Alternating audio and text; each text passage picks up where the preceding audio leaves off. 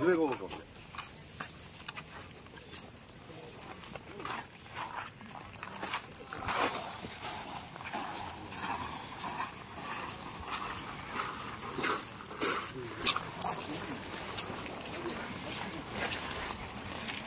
ಭಾಳ ಚೆನ್ನಾಗಿದೆ ಸರ್